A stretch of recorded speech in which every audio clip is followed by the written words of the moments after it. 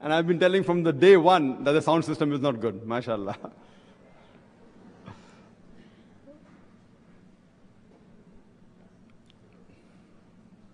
I welcome all of you once again with Islamic greetings. Assalamu alaikum wa rahmatullahi wa barakatuh. May peace, mercy, and blessings of Allah subhanahu wa ta'ala be on all of you. It's a pleasure for me to be once again back to London, especially Harrow, after a span of eight months. I was here eight months back, and again I'm here, alhamdulillah. And it's a pleasure to be with you again, once again. The topic of this evening's talk is seeking knowledge in the light of Islam. Your children are an amana. Give them the best education for both the worlds. It is a long topic, but it's basically dealing with seeking knowledge in light of Islam and that your children are an amana. So give them the best education for both the worlds. I started my talk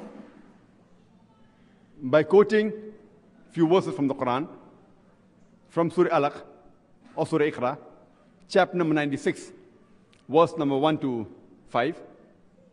And if we analyze that Allah subhanahu wa ta'ala in the glorious Quran, the first guidance that He gave to the whole of humankind, it was not to pray, it was not to fast, it was not to perform Hajj, but the first guidance given by Allah subhanahu wa ta'ala in the glorious Quran to the whole of humankind was Iqra.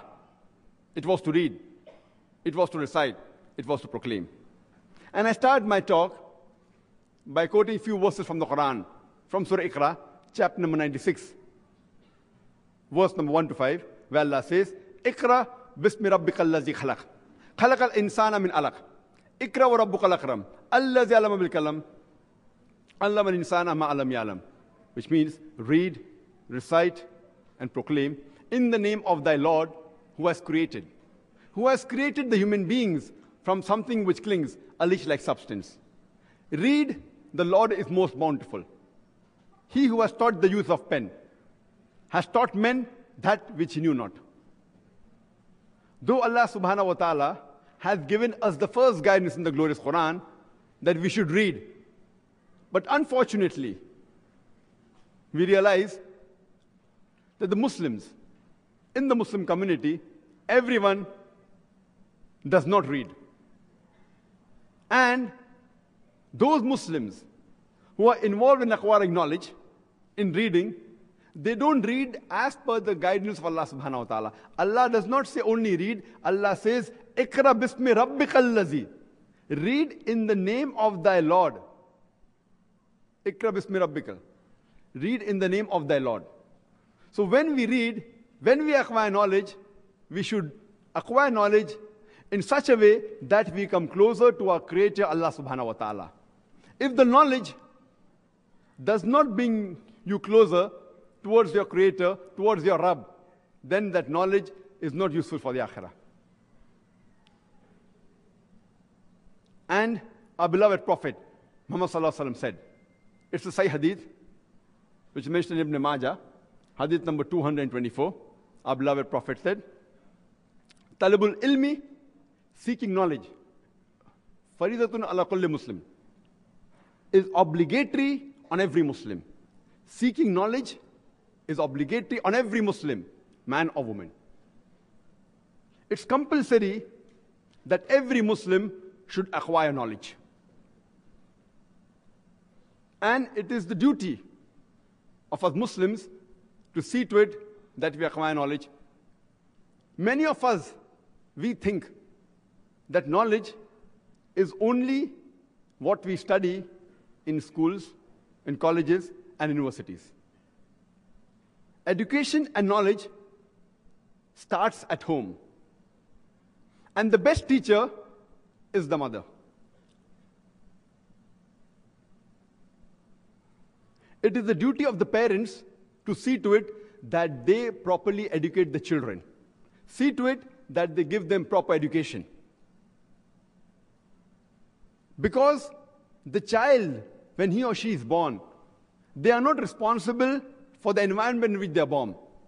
It is the duty of the parents to see to it that, irrespective of the environment, they give them proper education. And today we find that there are various societies and the various ways of life in this society. We have the Islamic way of life, we have the Western way of life, and we have a variety of different ways of life. As far as Islam is concerned, Islam is a complete way of life. It caters both to the spiritual aspect of the soul as well as the physical aspect of the body. And Allah says in the Quran in Surah Ma'idah, chapter number 5, verse number 3, On this day have I completed your religion for you, and have completed my favor for you, and have chosen for you Islam. So once Islam is completed, nothing new can be added or subtracted from it. Our deen is complete. So, as far as the way of life is concerned, Islam is a complete way of life.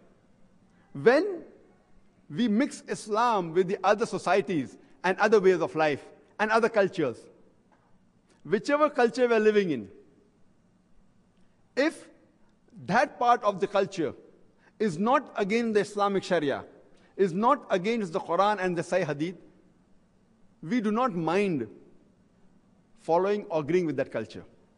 But if that culture, if that society goes against Quran and Sahih Hadith, we should not follow it. Islam is number one.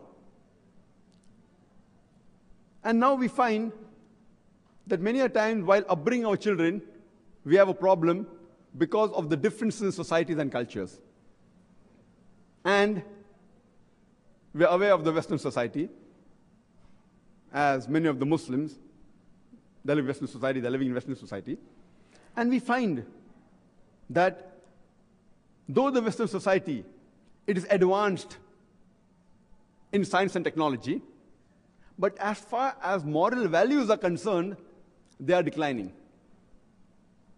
We find in the Western society that alcoholism is on the increase, drug addiction is on the increase, obscenity is on the increase, adultery is on the increase, rape is on the increase, crime is on the increase.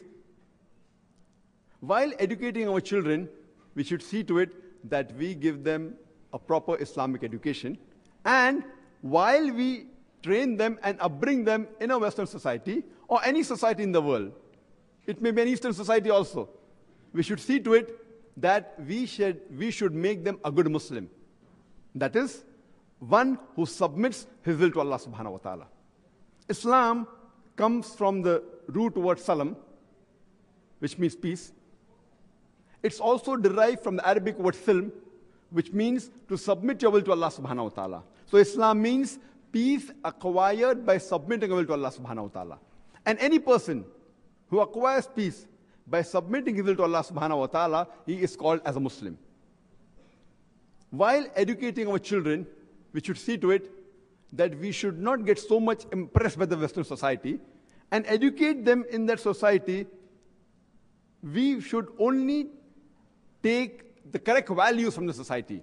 We don't want our children to become alcoholics, to become drug addicts,